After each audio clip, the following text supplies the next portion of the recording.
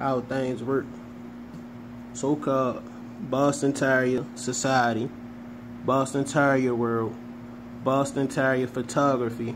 It's definitely ran by racists, ran by one-sided idiots. And why I'm saying this racist? Because a Caucasian female commented on my page. I mean, on my comment on my video that I shared in the group. Nothing was said. I'm supposed to let it go. I reply, "Is a problem." Boston Terrier Society. People put something especially on a video I had, I had over 200, maybe 300 something comments, all positive stuff, right? That one bad egg that put something negative on it, I reply, but my comment gets deleted. They don't speak on that. They let that go.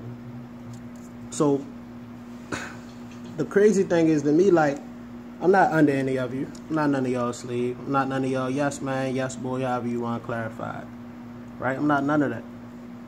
So my whole point is, if you say something stupid, I'm gonna give you a reply. I don't care how I reply.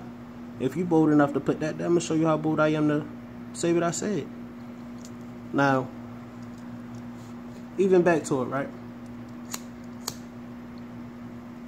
It's funny how they only calling out my actions when I replied or I retaliated, but they still still ignoring the fact of what set me off.